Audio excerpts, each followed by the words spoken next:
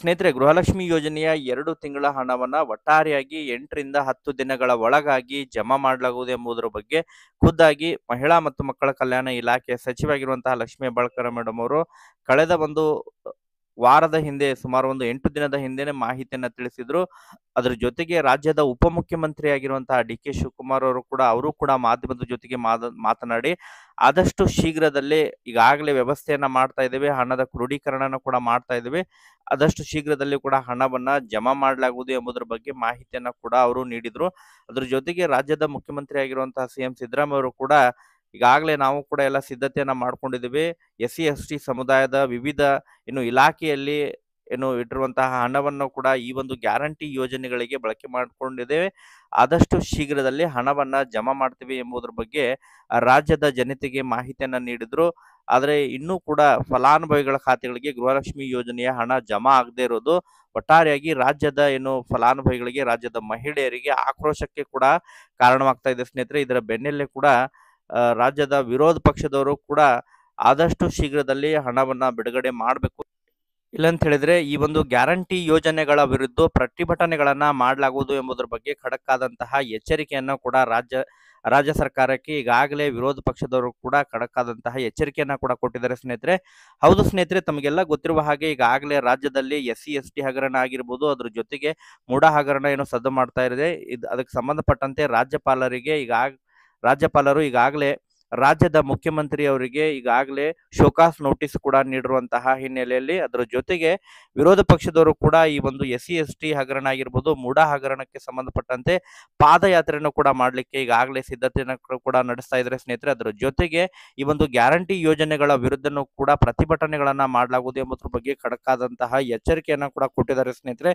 ಅದಕ್ಕೆ ಸಂಬಂಧಪಟ್ಟಂತಹ ಕೆಲವೊಂದಿಷ್ಟು ಎಕ್ಸ್ಕ್ಲೂಸಿವ್ ಆದಂತಹ ಮಾಹಿತಿ ಈಗಾಗಲೇ ಲಭ್ಯವಾಗಿದ್ದು, ಅದ್ರ ಬಗ್ಗೆ ರಾಜ್ಯದ ಏನು ಅದಕ್ಕೆ ಸಂಬಂಧಪಟ್ಟಂತಹ ಸಚಿವರು ಏನೆಲ್ಲ ಪ್ರತಿಕ್ರಿಯೆಯನ್ನು ಕೊಟ್ಟಿದ್ದಾರೆ ಎಂಬುದರ ಬಗ್ಗೆ ಈಗಾಗಲೇ ಕೆಲವೊಂದಿಷ್ಟು ಮಾಹಿತಿಗಳು ಕೂಡ ಲಭ್ಯವಾಗಿದ್ದಾವೆ ಹಾಗಾದ್ರೆ ಈ ಗೃಹಲಕ್ಷ್ಮಿ ಯೋಜನೆಯ ಹಣ ಬಿಡುಗಡೆಗೆ ಸಂಬಂಧಪಟ್ಟಂತೆ ಹಣ ಜಮಾ ಆಗುತ್ತೋ ಇಲ್ಲೋ ಯಾಕಂತ ಹೇಳಿದ್ರೆ ಸುಮಾರು ಒಂದು ಈ ವಿರೋಧ ಪಕ್ಷದವರು ಕೂಡ ಈ ಒಂದು ಗ್ಯಾರಂಟಿ ಯೋಜನೆಗಳ ಕುರಿತು ಭವಿಷ್ಯವನ್ನು ಕೂಡ ನೋಡ್ಕೊಂತಾನೆ ಬರ್ತಾ ಇದ್ದಾರೆ.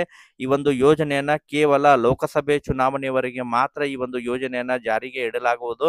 ತದನಂತರ ಈ ಒಂದು ಯೋಜನೆಗಳನ್ನ ಸ್ಥಗಿತವನ್ನ ಮಾಡ್ತಾರೆ ಎಂಬುದ್ರ ಬಗ್ಗೆ ಈ ಹಿಂದಿನ ಕೂಡ ಅವರು ಏನು ಮಾಹಿತಿಯನ್ನ ನೀಡ್ಕೊಂತ ಬರ್ತಾ ಇದ್ರು. ಅದಕ್ಕೆ ಪುಷ್ಟಿ ಕೊಡುವಂತಹ ನಿಟ್ಟಿನಲ್ಲಿ ಈಗ ಗೃಹಲಕ್ಷ್ಮಿ ಯೋಜನೆಯ ಹಣವನ್ನ ಸರಿಯಾಗಿ ಜಮಾ ಮಾಡ್ತಾ ಇಲ್ಲ. ಈಗ ಎರಡು ತಿಂಗಳು ಕಳೆದ್ರೂ ಕೂಡ ಇನ್ನೂ ಕೂಡ ಫಲಾನುಭವಿಗಳ ಖಾತೆಗಳಿಗೆ ಜಮಾ ಹಣ ಜಮಾ ಆಗ್ತಾ ಇಲ್ಲ. ಒಟ್ಟಾರೆಯಾಗಿ ರಾಜ್ಯದ ಫಲಾನುಭವಿಗಳು ಆಕ್ರೋಶಕ್ಕೆ ಕಾರಣವಾಗಿದ್ದಾರೆ ಸ್ನೇಹಿತರೆ. ಸೊ ಅದಕ್ಕೆ ಸಂಬಂಧಪಟ್ಟಂತೆ, ಸಂಬಂಧಪಟ್ಟಂತಹ ಸಚಿವರು ಏನು ಹೇಳ್ತಾರೆ? ಸೊ ವಿರೋಧ ಪಕ್ಷದವರು ಏನು ಹೇಳ್ತಾರೆ ಎಂಬುದರ ಬಗ್ಗೆ ಈಗಾಗಲೇ ಕೆಲವೊಂದಿಷ್ಟು ಪ್ರಮುಖವಾದಂತಹ ಇನ್ಫಾರ್ಮೇಶನ್ ಲಭ್ಯವಾಗಿದ್ದು ಅದರ ಬಗ್ಗೆ ತಮಗೆ ಮಾಹಿತಿಯನ್ನು ತಿಳಿಸ್ಕೊಡ್ತೀನಿ. ಹಾಗಾದ್ರೆ ಹಣ ಜಮಾ ಆಗುತ್ತೆ ಇಲ್ಲ ಎಂಬುದರ ಬಗ್ಗೆ ಮಾಹಿತಿಯನ್ನು ಕೂಡ ತಮಗೆ ತಿಳಿಸ್ಕೊಡ್ತೀನಿ ಸ್ನೇಹಿತರೆ. ಸ್ನೇಹಿತರೆ, ಈ ಒಂದು ವಿಡಿಯೋ ತಮಗೆ ಯೂಸ್ಫುಲ್ ಆಗಲಿದೆ. ಆ ಕಾರಣಕ್ಕಾಗಿ ಪ್ರತಿಯೊಬ್ಬರು ಕೂಡ ವಿಡಿಯೋನ ಕಂಪ್ಲೀಟ್ ಆಗಿ ವಾಚ್ ಮಾಡಿ, ಯಾರು ಕೂಡ ವಿಡಿಯೋನ ಮಧ್ಯದಲ್ಲಿ ಸ್ಕಿಪ್ ಮಾಡಿ, ಮಧ್ಯದಲ್ಲಿ ಓಡಿಸಿ ನೋಡ್ಲಿಕ್ಕೆ ಹೋಗ್ಬಿಡ್ರಿ. ಕಂಪ್ಲೀಟ್ ಆಗಿ ವಾಚ್ ಮಾಡಿ, ಪ್ರತಿಯೊಬ್ರು ಕೂಡ ವಿಡಿಯೋಗೊಂದು ಲೈಕ್ ಕೊಟ್ಟು, ಇನ್ನೂ ಕೂಡ ತಾವು ಚಾನೆಲ್ ಅನ್ನ ಸಬ್ಸ್ಕ್ರೈಬ್ ಆಗಿಲ್ಲ ಅಂತ ಹೇಳಿದ್ರೆ, ಚಾನೆಲ್ ಅನ್ನ ಸಬ್ಸ್ಕ್ರೈಬ್ ಆಗಿ ನೋಟಿಫಿಕೇಶನ್ ಆನ್ ಮಾಡ್ಕೊರಿ. ಇದರಿಂದ ನಿಮಗೆ ನಾವು ಹಾಕ್ತಾ ಇರುವಂತಹ ಗ್ಯಾರಂಟಿ ಯೋಜನೆಗಳಿಗೆ ಸಂಬಂಧಪಟ್ಟಂತಹ ಪ್ರತಿಯೊಂದು ಮಾಹಿತಿಗಳ ಅಪ್ಡೇಟ್ಗಳು ತಮಗೆ ದೊರಕ್ತಾ ಇರ್ತವೆ. ಹಾಗಾದ್ರೆ ಬನ್ನಿ ಸ್ನೇಹಿತರೆ, ಇವತ್ತಿನ ಈ ಒಂದು ವಿಡಿಯೋನ ಪ್ರಾರಂಭಿಸೋಣ. ಹೌದು ಸ್ನೇಹಿತರೆ, ತಮಗೆಲ್ಲ ಗೊತ್ತಿರುವ ಹಾಗೆ ಕಳೆದ ಒಂದು ವಾರದ ಹಿಂದೆ ಇದಕ್ಕೆ ಸಂಬಂಧಪಟ್ಟಂತೆ ಗೃಹಲಕ್ಷ್ಮಿ ಯೋಜನೆಯ ಹಣ ಎರಡು ತಿಂಗಳು ಆದರೂ ಕೂಡ ಜಮಾ ಆಗದೇ ಇರುವಂತಹ ಸಂದರ್ಭದಲ್ಲಿ ಅದಕ್ಕೆ ಸಂಬಂಧಪಟ್ಟಂತೆ ಮಾಧ್ಯಮದವರು ಕೂಡ ಮಹಿಳಾ ಮತ್ತು ಮಕ್ಕಳ ಕಲ್ಯಾಣ ಇಲಾಖೆಯ ಸಚಿವಾಗಿರುವಂತಹ ಲಕ್ಷ್ಮೀ ಹೆಬ್ಬಾಳ್ಕರ್ ಮೇಡಮ್ ಅವರಿಗೆ ಮಾಹಿತಿಯನ್ನ ಕೇಳಿದಾಗ ಯಾಕೆ ಹಣ ಜಮಾ ಆಗ್ತಾ ಇಲ್ಲ ಎಂಬುದ್ರ ಬಗ್ಗೆ ಇನ್ಫಾರ್ಮೇಶನ್ ಅನ್ನ ಕೇಳಿದಾಗ, ಇಲ್ಲ ಕೆಲವೊಂದಿಷ್ಟು ತಾಂತ್ರಿಕ ಸಮಸ್ಯೆ ಉಂಟಾಗಿದೆ ಎಂಬುದ್ರ ಬಗ್ಗೆ ಮಾಹಿತಿಯನ್ನ ಕೂಡ ಕೊಟ್ಟಿದ್ರು ಅವರು. ಬಟ್ ಎಂಟರಿಂದ ಹತ್ತು ದಿನಗಳ ಕಾಲಾವಕಾಶವನ್ನ ಕೂಡ ಪಡೆದುಕೊಂಡಿದ್ರು. ಎಂಟರಿಂದ ಹತ್ತು ದಿನಗಳ ಒಳಗಾಗಿ ಫಲಾನುಭವಿಗಳ ಖಾತೆಗಳಿಗೆ ಹಣವನ್ನ ಆದಷ್ಟು ಶೀಘ್ರದಲ್ಲಿ ಜಮಾ ಮಾಡಲಾಗುವುದು ಎಂಬುದರ ಬಗ್ಗೆ ಮಾಹಿತಿಯನ್ನು ಕೊಟ್ಟಿದ್ರು. ಅದರ ಜೊತೆಗೆ ರಾಜ್ಯದ ಉಪಮುಖ್ಯಮಂತ್ರಿ ಆಗಿರುವಂತಹ ಡಿ ಕೆ ಶಿವಕುಮಾರ್ ಅವರು ಕೂಡ ಆದಷ್ಟು ಶೀಘ್ರದಲ್ಲಿ ಹಣವನ್ನ ಜಮಾ ಮಾಡಲಾಗುವುದು ಎಂಬುದರ ಬಗ್ಗೆ ಮಾಹಿತಿಯನ್ನು ಕೊಟ್ಟಿದ್ರು. ಬಟ್ ಈಗಾಗಲೇ ಒಂದು ವಾರಗಳು ಕಳೆದರೂ ಕೂಡ ಇನ್ನೂ ಕೂಡ ಫಲಾನುಭವಿಗಳ ಖಾತೆಗಳಿಗೆ ಹಣ ಜಮಾ ಆಗ್ತಾ ಇಲ್ಲ. ಇದು ಎಲ್ಲೋ ಒಂದು ಕಡೆ ಫಲಾನುಭವಿಗಳಿಗೆ ಆಕ್ರೋಶನೂ ಕೂಡ ವ್ಯಕ್ತವಾಗ್ತಾ ಇದೆ ಸ್ನೇಹಿತರೆ ಯಾಕಂತ ಹೇಳಿದ್ರೆ ಹಣ ಜಮಾ ಆಗುತ್ತೆ ಎಂಬುದರ ಬಗ್ಗೆ ಹೇಳ್ತಾ ಇದ್ರೆ, ಬಟ್ ಅದ್ರ ಬಗ್ಗೆ ಸ್ಪಷ್ಟವಾದಂತಹ ಮಾಹಿತಿಯನ್ನ ಹೇಳ್ತಾ ಇಲ್ಲ ಕೆಲವೊಂದಿಷ್ಟು ಶಾಸಕರು ಹಣವನ್ನ ಈಗಾಗಲೇ ರಿಲೀಸ್ ಮಾಡಿದವೆ ಎಸ್ ಸಿ ಸಮುದಾಯದವರಿಗೆ ಈಗಾಗಲೇ ಹಣ ಕೂಡ ಜಮಾ ಆಗಿದೆ ಎಂಬುದರ ಬಗ್ಗೆ ಮಾಹಿತಿಯನ್ನ ಹೇಳ್ತಾ ಇದ್ದಾರೆ. ಬಟ್ ಅಧಿಕೃತವಾಗಿ ಫಲಾನುಭವಿಗಳು ಹೇಳಿದಂತ ಪ್ರಕಾರ ಇನ್ನೂ ಕೂಡ ನಮಗೆ ಎಸ್-ಸಿ, ಎಸ್-ಟಿ ಫಲಾನುಭವಿಗಳು ಕಮೆಂಟ್ಗಳನ್ನು ಮಾಡೋದ್ರ ಮೂಲಕನೂ ಕೂಡ ಇನ್ಫಾರ್ಮೇಷನನ್ನು ಪ್ರೊವೈಡ್ ಮಾಡಿದ್ದಾರೆ. ಇನ್ನೂ ಕೂಡ ನಮಗೆ ಗೃಹಲಕ್ಷ್ಮಿ ಯೋಜನೆಯ ಯಾವುದೇ ರೀತಿಯಾದಂತಹ ಹಣ ಜಮಾ ಆಗಿಲ್ಲ. ಕೇವಲ 10 ಕಂತಿನ ವರೆಗೆ ಮಾತ್ರ ಹಣ ಜಮಾ ಆಗಿದೆ. ತದನಂತರ ಯಾವುದೇ ರೀತಿಯಾದಂತಹ ಹಣ ನಮ್ಮ ಖಾತೆಗೆ ಜಮಾ ಆಗಿಲ್ಲ ಎಂಬುದ್ರ ಬಗ್ಗೆ ಈಗಾಗಲೇ ಅವರು ಸ್ಪಷ್ಟನೆಯನ್ನ ಕೂಡ ನೀಡಿದ್ದಾರೆ ಸ್ನೇಹಿತರೆ. ಇದರ ಬೆನ್ನಲ್ಲೇ ಇದಕ್ಕೆ ಸಂಬಂಧಪಟ್ಟಂತೆ ವಿರೋಧ ಪಕ್ಷದವರು ಕೂಡ ಗ್ಯಾರಂಟಿ ಯೋಜನೆಗಳ ವಿರುದ್ಧ ಏನು ಪ್ರತಿಭಟನೆಗಳನ್ನ ಮಾಡ್ಲಿಕ್ಕೂ ಕೂಡ ಸಿದ್ಧಾಗಿದ್ದಾರೆ ಸ್ನೇಹಿತರೆ. ಹೌದು ಸ್ನೇಹಿತರೆ ಈಗಾಗಲೇ ರಾಜ್ಯದಲ್ಲಿ ಈ ಒಂದು ಸರ್ಕಾರವನ್ನ ಅಸ್ಥಿರವನ್ನಗೊಳಿಸ್ಲಿಕ್ಕೆ ಈಗಾಗಲೇ ಅನೇಕ ಪ್ರಯತ್ನಗಳು ಕೂಡ ನಡೀತಾ ಇದ್ದಾವೆ ಎಂಬುದರ ಬಗ್ಗೆ ರಾಜ್ಯದ ಉಪಮುಖ್ಯಮಂತ್ರಿ ಆಗಿರುವಂತಹ ಡಿ.ಕೆ. ಶಿವಕುಮಾರ್ ಅವರು ಕೂಡ ಮಾಹಿತಿಯನ್ನ ನೀಡ್ತಾ ಇದ್ರು. ಇದರ ಬೆನ್ನಲ್ಲೇ ಅನೇಕ ವಿರೋಧ ಪಕ್ಷದವರು ಕೂಡ ಎಸ್-ಸಿ, ಎಸ್-ಟಿ ಹಗರಣ ಆಗಿರ್ಬೋದು, ಅದರ ಜೊತೆಗೆ ಮೂಡಾ ಹಗರಣದ ವಿರುದ್ಧ ಪಾದಯಾತ್ರೆಯನ್ನ ಮಾಡೋದ್ರ ಮೂಲಕ ಈಗಾಗಲೇ ತಮ್ಮ ಒಂದು ಪ್ರತಿಭಟನೆಯನ್ನ ಕೂಡ ಮಾಡ್ಲಿಕ್ಕೆ ಈಗಾಗಲೇ ಮುಂದಾಗಿದ್ದಾರೆ ಸ್ನೇಹಿತರೆ. ಅದರ ಜೊತೆ ಜೊತೆಗೆ ಈ ಗ್ಯಾರಂಟಿ ಯೋಜನೆಗಳ ವಿರುದ್ಧನೂ ಕೂಡ ಪ್ರತಿಭಟನೆಗಳನ್ನ ಮಾಡಲಿಕ್ಕೆ ಮುಂದಾಗಿದ್ದಾರೆ ಎಂಬುದ್ರ ಬಗ್ಗೆ ಕೆಲವೊಂದಿಷ್ಟು ಈಗಾಗಲೇ ಮಾಹಿತಿಗಳು ಕೂಡ ಲಭ್ಯವಾಗ್ತಾ ಇದಾವೆ ಸ್ನೇಹಿತರೆ. ಅದರಲ್ಲೂ ಕೂಡ ಬಸವನಗೌಡ ಪಾಟೀಲ್ ಯತ್ನಾಳ್ ಅವರು ಕೂಡ ಮೊನ್ನೆಯಷ್ಟೇ ಬೆಳಗಾವಿಯಲ್ಲಿ ಈ ಒಂದು ಗೃಹಲಕ್ಷ್ಮಿ ಯೋಜನೆಯ ಹಣವನ್ನ ಜಮಾ ಮಾಡಬೇಕು ಎಂಬುದರ ಬಗ್ಗೆ ಮಹಿಳಾ ಮತ್ತು ಮಕ್ಕಳ ಕಲ್ಯಾಣ ಇಲಾಖೆಯ ಸಚಿವೆಯಾಗಿರುವಂತಹ ಲಕ್ಷ್ಮೀ ಹೆಬ್ಬಾಳ್ಕರ್ ಮೇಡಮ್ ಅವರಿಗೆ ಖಡಕ್ಕಾದಂತಹ ಸೂಚನೆಯನ್ನು ಕೂಡ ಕೊಟ್ಟಿದ್ದಾರೆ ಸ್ನೇಹಿತರೆ. ಹೌದು ಸ್ನೇಹಿತರೆ, ಇದಕ್ಕೆ ಪ್ರತಿಕ್ರಿಯಿಸಿರುವಂತಹ ಮಹಿಳಾ ಮತ್ತು ಮಕ್ಕಳ ಕಲ್ಯಾಣ ಇಲಾಖೆಯ ಸಚಿವಾಗಿರುವಂತಹ ಲಕ್ಷ್ಮೀ ಬಳಕರ ಮೇಡಮ್ ಅವರು, ಈ ಗೃಹಲಕ್ಷ್ಮಿ ಯೋಜನೆಯ ಹಣ ಜಮಾ ಆಗ್ತಾ ಇಲ್ಲ. ಆದಷ್ಟು ಹಣ, ಶೀಘ್ರದಲ್ಲಿ ಹಣ ಜಮಾ ಮಾಡಲಿಕ್ಕೆ ಒತ್ತಾಯವನ್ನ ಮಾಡ್ತಾ ಇದ್ದಾರೆ ಎಂಬುದರ ಬಗ್ಗೆ ಹೇಳಿದಂತಹ ಸಂದರ್ಭದಲ್ಲಿ ಕೆಲವೊಂದಿಷ್ಟು ಸ್ಪಷ್ಟನೆಯನ್ನ ಕೂಡ ನೀಡಿದ್ದಾರೆ ಸ್ನೇಹಿತರೆ. ಯಾಕೆ ಗೃಹಲಕ್ಷ್ಮಿ ಯೋಜನೆಯ ಹಣ ಜಮಾ ಆಗ್ತಾ ಇಲ್ಲ? ಯಾಕಂತ ಹೇಳಿದ್ರೆ, ಮನೆಯಷ್ಟೇ ಕಳೆದ ಒಂದು ವಾರದ ಹಿಂದೆನೆ ಅವರು ಮಾಹಿತಿಯನ್ನು ಕೊಟ್ಟಿದ್ರು. 8ರಿಂದ 10 ದಿನಗಳ ಒಳಗಾಗಿ ಫಲಾನುಭವಿಗಳ ಖಾತೆಗಳಿಗೆ ಹಣ ಜಮಾ ಆಗುವುದು ಎಂಬುದರ ಬಗ್ಗೆ ಖುದ್ದಾಗಿ ಅವರೇ ಮಾಹಿತಿಯನ್ನು ಹೇಳಿದ್ರು. ಬಟ್, ಅದಕ್ಕೆ ಸಂಬಂಧಪಟ್ಟಂತೆ ನಿನ್ನೆನೂ ಕೂಡ ಅವರು ಮತ್ತೆ ಕೆಲವೊಂದಿಷ್ಟು ಸ್ಪಷ್ಟನೆಯನ್ನ ಕೂಡ ನೀಡಿದ್ದಾರೆ ಸ್ನೇಹಿತರೆ.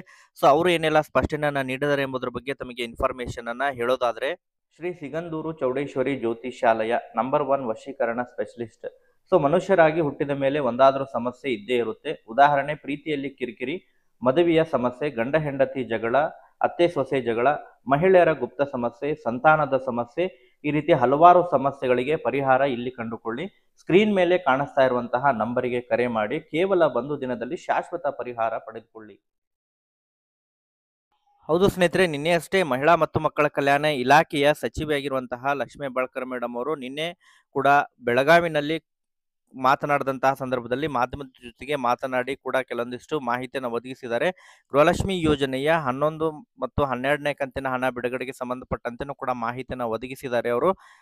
ಕೇಳಿರುವಂತಹ ಪ್ರಶ್ನೆಗೆ ಅಂತ ಹೇಳಿದ್ರೆ 8ರಿಂದ 10 ದಿನಗಳ ಒಳಗಾಗಿ ಗೃಹಲಕ್ಷ್ಮಿ ಯೋಜನೆಯ ಹಣ ಜಮಾ ಆಗುತ್ತೆ ಎಂಬುದರ ಬಗ್ಗೆ ಖುದ್ದಾಗಿ ತಾವೇ ಮಾಹಿತಿಯನ್ನು ಕೊಟ್ಟಿದ್ರು. ಬಟ್ ಇನ್ನೂ ಫಲಾನುಭವಿಗಳು ಹಣ ಜಮಾ ಆಗ್ತಾ ಇಲ್ಲ ಎಂಬುದರ ಬಗ್ಗೆ ಮಾಹಿತಿಯನ್ನ ಹೇಳ್ತಾ ಇದ್ರೆ ಇದಕ್ಕೆ ತಮ್ಮ ಉತ್ತರ ಏನು ಅಂತೇಳಿ ಹೇಳಿದಂತಹ ಪ್ರಶ್, ಪ್ರಶ್ನೆಗೆ ಕೆಲವೊಂದಿಷ್ಟು ಸ್ಪಷ್ಟನೆಯನ್ನ ಕೂಡ ನೀಡಿದರೆ ಸ್ನೇಹಿತರೆ. ಹೌದು ಸ್ನೇಹಿತರೆ, ಈಗಾಗಲೇ ನಾವು ಡಿ.ಬಿ.ಟಿ ಮೂಲಕ ಮೊದಲನೇ ಹಂತದಲ್ಲಿ ಗೃಹಲಕ್ಷ್ಮಿ ಯೋಜನೆಯ 11ನೇ ಕಂತು ಅಂತ ಹೇಳಿದ್ರೆ, ಈಗ ಎರಡು ಸಾವಿರ ರೂಪಾಯಿಯನ್ನ ಮೊದಲನೇ ಹಂತದಲ್ಲಿ ಫಲಾನುಭವಿಗಳ ಖಾತೆಗಳಿಗೆ ಜಮಾ ಮಾಡ್ತೇವೆ. ಆದಷ್ಟು ಶೀಘ್ರದಲ್ಲಿ 2ರಿಂದ 3 ದಿನಗಳ ಒಳಗಾಗಿ ಹಣ ಜಮಾ ಆಗಲಿದೆ. ಈಗಾಗಲೇ ಡಿ.ಬಿ.ಟಿ ಮೂಲಕ ಹಣವನ್ನ ಬಿಡುಗಡೆ ಮಾಡಿದ್ದೇವೆ ಎಂಬುದ್ರ ಬಗ್ಗೆ ಅವರು ಮಾಹಿತಿಯನ್ನ ಹೇಳ್ತಾ ಇದ್ದಾರೆ ಸ್ನೇಹಿತರೆ. ಸೊ ಒಟ್ಟಾರೆಯಾಗಿ ಇದಕ್ಕೆ ಸಂಬಂಧಪಟ್ಟಂತೆ ರಾಜ್ಯದ ಫಲಾನುಭವಿಗಳು ವೇಟ್ ಮಾಡಿ ನೋಡ್ಬೇಕಾಗುತ್ತೆ. ಯಾಕಂತ ಹೇಳಿದ್ರೆ ಎರಡು ದಿನಗಳ ಅಂತೇಳಿ ಹೇಳ್ತಾ ಇದ್ದಾರೆ.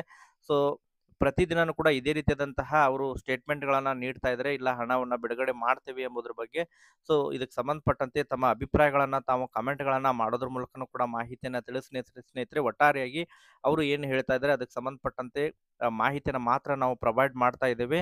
ಸೊ, ಇದಕ್ಕೆ ಸಂಬಂಧಪಟ್ಟಂತೆ ಮತ್ತೇನಾರ ಅಪ್ಡೇಟ್‌ಗಳು ಕೂಡ ಬಂದಂತಹ ಸಂದರ್ಭದಲ್ಲೂ ಕೂಡ ತಮಗೆ ಇನ್ಫಾರ್ಮೇಷನ್ ಅನ್ನ ಪ್ರೊವೈಡ್ ಮಾಡುವಂತಹ ಪ್ರಯತ್ನವನ್ನು ಕೂಡ ಮಾಡ್ತಾ ಇರ್ತೀವಿ. ಈ ಒಂದು ವಿಡಿಯೋದಲ್ಲಿ ಇಷ್ಟೇ ಇನ್ಫಾರ್ಮೇಷನ್ ಇರೋದು. Okay, thank you for watching this video.